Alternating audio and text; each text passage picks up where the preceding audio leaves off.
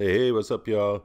So here we are. Today we are doing a very simple element, an RMC stall. You can see this is a really tall and long one, but this is quickly becoming one of my favorite elements on a ride. I've been on at least two of them so far, uh, on Joker at Discovery Kingdom and Goliath at uh, Six Flags Great America, and I really love this element, so I decided to go ahead and show you how it's done in uh, FVD. And for a quick uh, reference, I also did the Untamed uh, sort of outer bank turn to the lift hill at the very beginning. So once we get up to the top here, you'll see I just did a really quick sort of a Goliath-esque ride here. I wasn't really going for anything too perfectly RMC-ish, but I just wanted to get set up so that the stall would be under the lift hill because I really like that element on uh, Goliath quite a bit. So this is pretty easy to do, as you can imagine. If you can do a zero-G roll, you can definitely do an RMC stall. There's not much to it. You just create a zero-G hill, and then you just create the rolls. So if we go and look at the force of this graph, let me just hold on here, make this smaller. You'll see like a lot of uh, elements like this, it's very symmetrical in terms of what happens in the rolls. Let's get out of the POV and come over here and look at it. Uh, you will have to fool around with this a little bit. This one's not 100% perfect.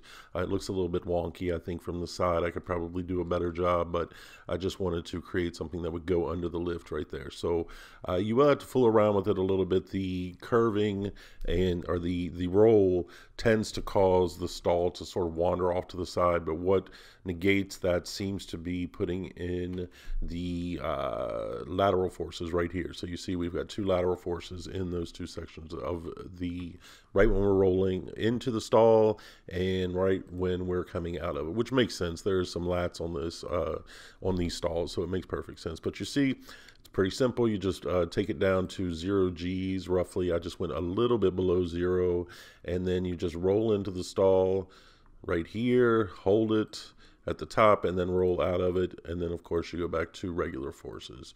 With the lats thrown in, just makes it a little bit more realistic. So this came out pretty well. If I were going to do an RMC, uh, I would definitely put one of these in there because I like this element quite a bit. I'm actually thinking, I've been thinking and thinking and thinking about what my next ride is going to be because I haven't done one in FVD in a while uh, or no limits. And uh, I definitely want to include a stall in the next one I do.